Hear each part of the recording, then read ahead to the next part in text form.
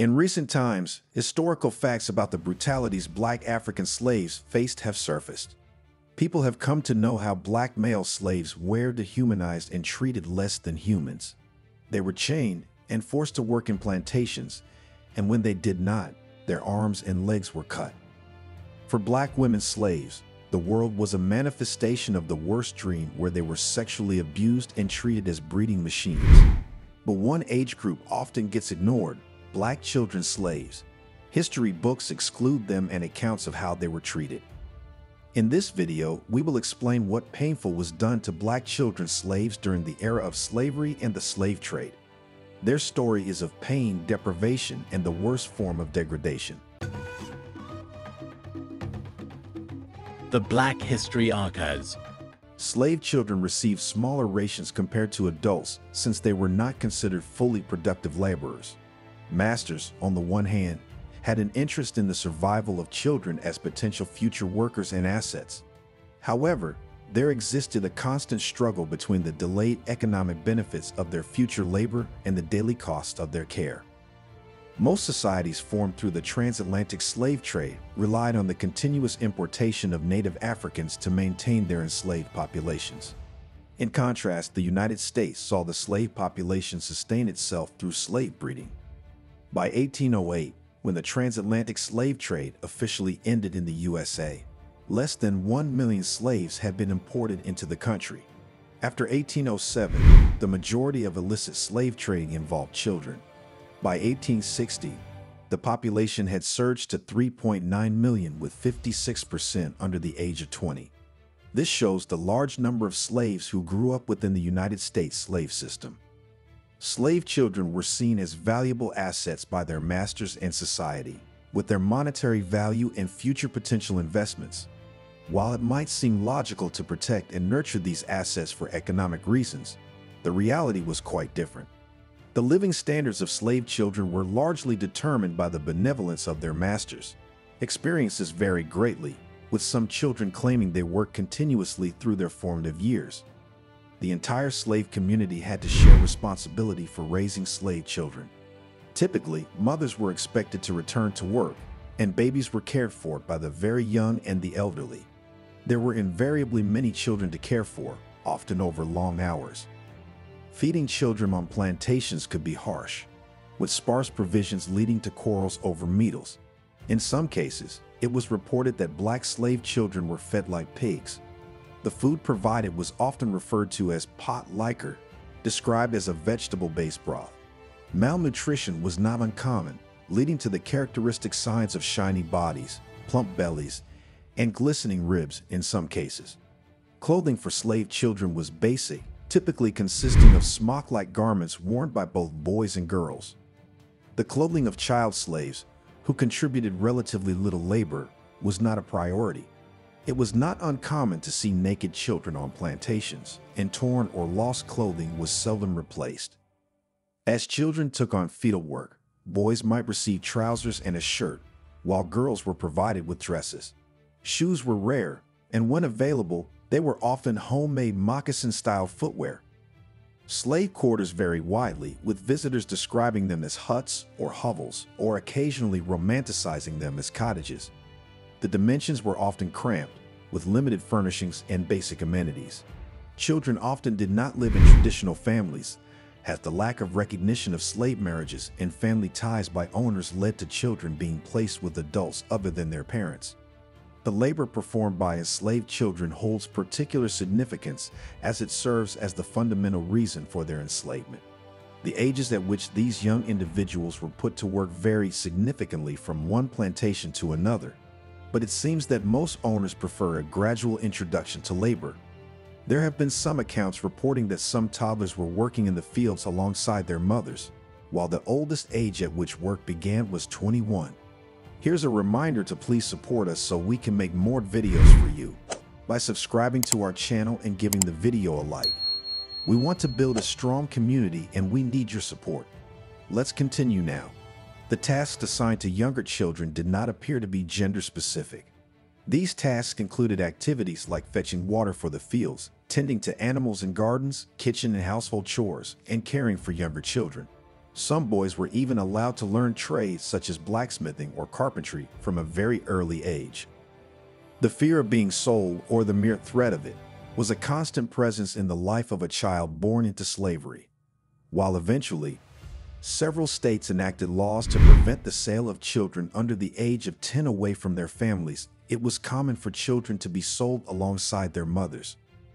This frequently occurred when the master passed away and their possessions, including slaves, were divided among the family.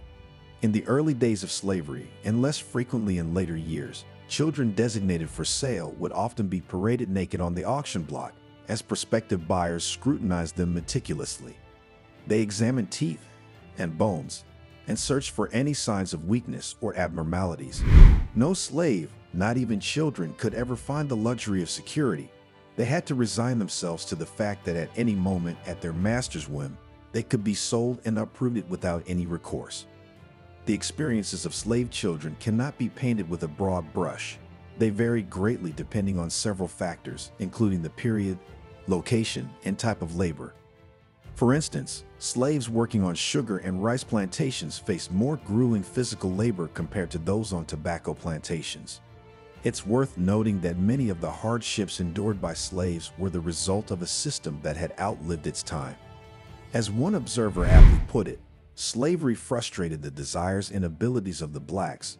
It perverted the whites. When slavery vanished, no one mourned it for long. For slave children, the most trying trials lay ahead.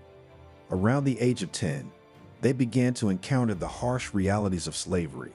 Full-time labor, a higher likelihood of being sold, due to legal restrictions lifting, unwelcome attention as they reach sexual maturity, and being perceived primarily as a means of production by their masters.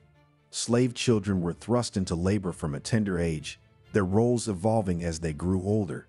These young souls initially served as assistants to their older counterparts, and with time, they became seasoned stand-ins for aging adults.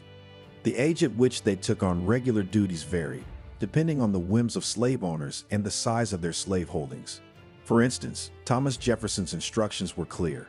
Children till 10 years old to serve as nurses. From 10 to 16, the boys make nails, the girls spin. At age 16, go into the grounds or learn trades. These enslaved children carried out specific tasks, whether in labor groups or under the task system. Irrespective of the labor arrangement, childhood was short-lived in the world of slavery, and work began at a tender age. Mingo White, a former slave residing in Franklin County, Alabama, vividly recalled his childhood, stating, I wasn't nothing but a child, but I had to work the same as any man.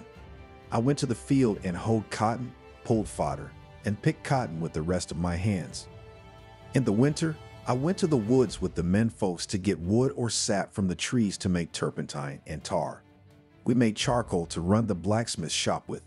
I also helped my mammy with her work. Her task was too hard for any one person. She had to serve as a maid to Mr. White's daughter, cook for all the hands, spin and card four cuts of thread a day, 144 threads to the cut, and then wash. Slavery thrust children into adult roles, including caring for other children. Meanwhile, Mary Bell from Missouri had a rather unique job, saying, They'd put me on a pony at mealtime to ride out to the field and called the hands to dinner. William Hudson, living in Tulsa, Oklahoma, during his interview, mentioned carrying a little black bag when his owner went a doctoring folks. Whether purchased or raised within the household, small children were assigned duties designed to instill in them an understanding of the Southern social hierarchy and their subservient role within it.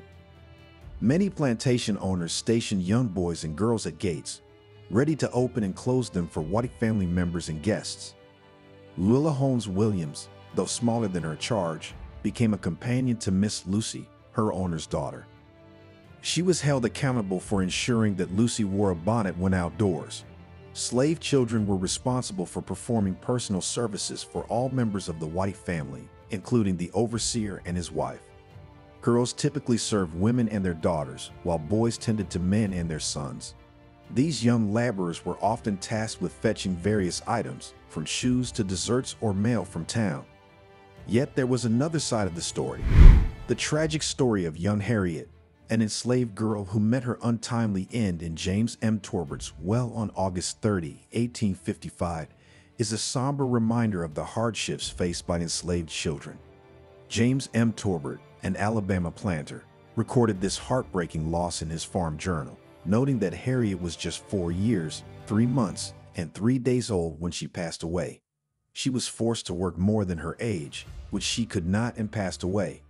In his journal, Torbert wrote, she was four years, three months, and three days old. Anthony comes to the plantation after me. I came home, made a coffin, and buried my little Negro. I am sorry my little Negro is dead, but I can't help it. Harriet's tragedy wasn't the only one Torbert had to confront. In July of that same year, he had crafted a coffin for another enslaved child and documented it in his journal. This child, Arthur, a little boy owned by Torbert's father, had also passed away and Torbert had overseen his burial. Enslaved parents and slave owners shared a sense of loss when enslaved children died. The infant and child mortality rates were shockingly high among the enslaved population, particularly in the coastal rice-growing regions. Black infants born into slavery died at twice the rate of white infants, and enslaved children continued to face a higher mortality rate than their white counterparts who survived infancy. It's because since they were born, they had to fight an inevitable war, which they most often lost. Plantation policies that allowed children to survive, even if this meant lower short-term profits from crops, held additional benefits for owners. Slaves raised from infancy on the home plantation tended to be more loyal and obedient than those purchased on the auction block, according to owners' beliefs. Planters who had witnessed the strong bonds forged between owners and slaves believed that those born and raised in the master's household or long-standing members of the family regarded the owner as their father, a connection they thought would last a lifetime. But this cannot be believed, as a father will never force his children to work in plantations in the worst possible conditions. When black slave children did not perform their tasks, they were punished the same way as adult slaves. The reason why the mortality rate was so high among black slave children is because they were abused and when they could not perform their work, they were punished, which resulted in their death. In the case of black slave girls, they were forced to bear children at the age of only 13. They were forced to mate with other black slave adults in the breeding farms so more children could be raised for more labor work. The institution of slavery ensured that slave children should be completely crushed in their childhood so they became slaves mentally. They knew if they did not do what they were ordered, they could be whipped, tortured, sold, or killed. They also knew nobody would hold their master accountable for the murder as they had no rights in the first place.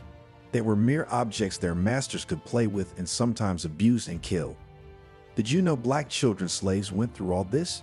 Isn't it true that they grew up while being chained in slavery, knowing that their entire childhood and life would be wasted in slavery?